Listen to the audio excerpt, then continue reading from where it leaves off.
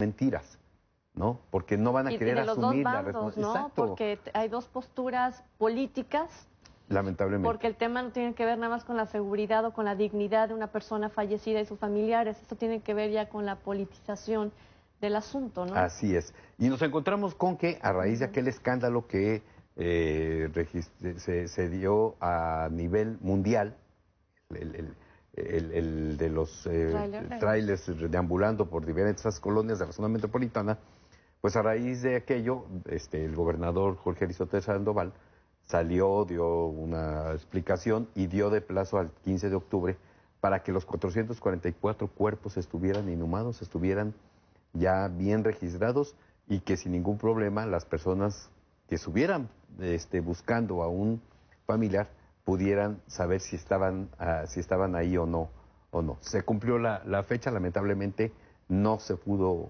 cumplir con el con la El 100% tarea la encomendada por el gobernador, sí, sí, un 50, y- sí, 50, 51%, porque en total fueron 228 los cuerpos que salieron de entre los 444 que estaban ahí registrados, 228 salieron, de los cuales 186 fueron inhumados. Esto fue, esto es, se fueron a una fosa. en pues, Guadalajara, eh, ¿no? En, en el Salto, unos en Guadalajara, otros en el Salto. Este, pero eh, fueron eh, 39, de- o sea, 186 eh, fueron este, inhumados y 39 fueron entregados a sus familiares, para dar un total de 228 cuerpos, pues más o menos ya identificados, ya registrados. Con, una historia con- saldada, podríamos decir, ¿no?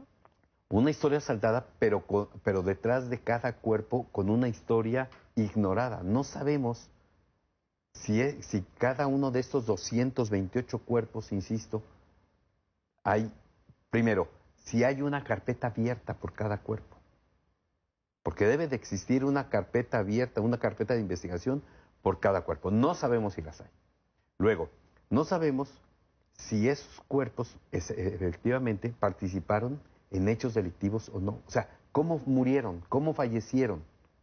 Eso tampoco no lo sabemos. Y, y ojo, porque eh, algunos eh, expertos, algunos juristas, algunos eh, expertos en derecho han dicho que la forma a veces en que se está trabajando se está truncando la investigación de un caso. Y lo que decimos de las etiquetas que se le ponen a estas personas, ¿no? A los familiares que sí identifican que, que es eh, una persona cercana. Eh, ya el resto de la sociedad le va, va a decir que murió por causa del crimen organizado y que estaba involucrado, exacto. porque no hay esa carpeta y no se investiga Ah, a fondo. ah, Bueno, pero es, eh, el día de ayer, desde la Procuradora eh, Social, el, el- todo el mismo este comité eh, de atención a las personas con eh, eh, familiares con- de personas desaparecidas, presentaron este reporte.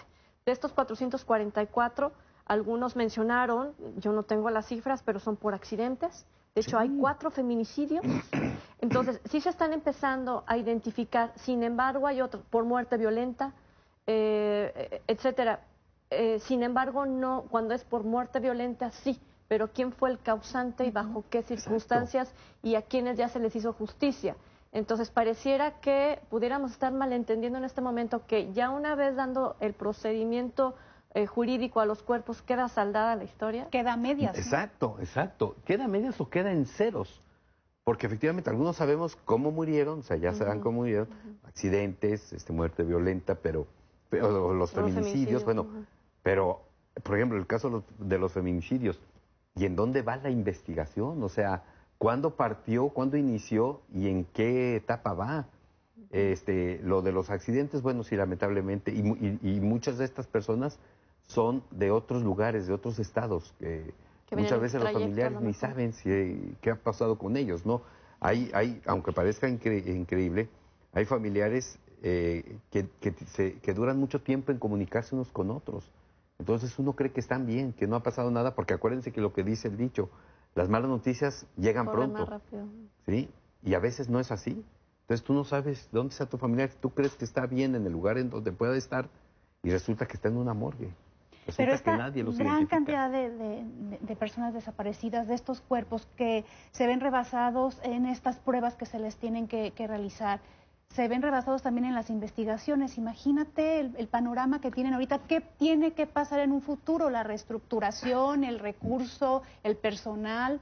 Mm, bueno, yo creo que primero se tiene que poner un, alto a esta gran cantidad de, de muertes que se están registrando, digo, porque apenas ayer, cuando se cumplía la fecha para la inhumación de los 444 cuerpos, nos enteramos que en Tonalá se encuentra una fosa clandestina en donde sale un cuerpo, dos cuerpos, tres cuerpos, cuatro cuerpos, cinco y que cuerpos, pudieran haber más. hasta llegar a 16 cuerpos.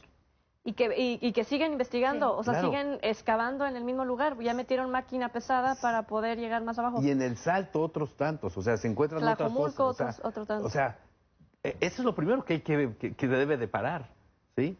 Pero claro, esto es imposible.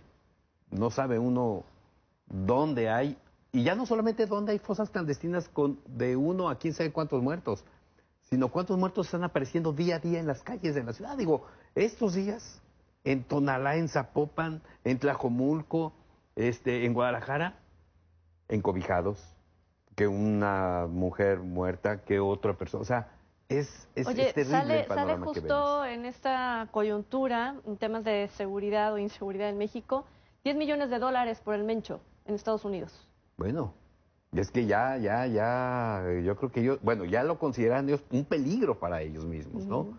Entonces, sí, pues lo que haya que ofrecer.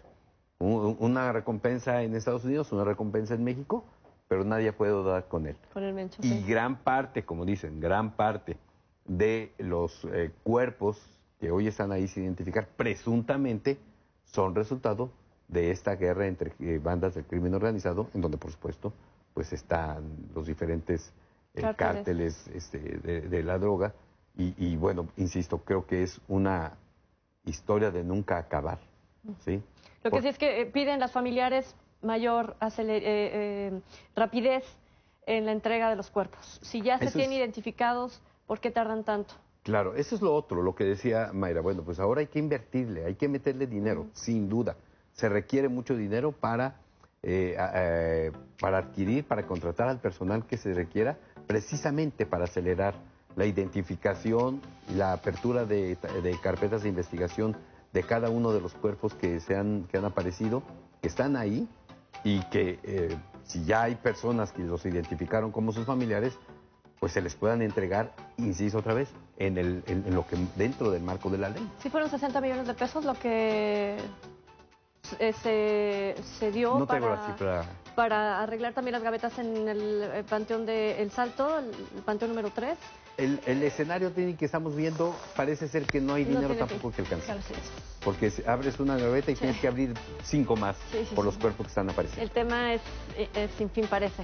Muchísimas gracias, Julio. Gracias, Trini. Gracias, buenos días, buenos días a todos. Y seguimos platicando de este tema más adelante con el fiscal de Derechos Humanos. ¿Usted qué opina? Comuníquese con nosotros 3030 53 los que regresamos con más.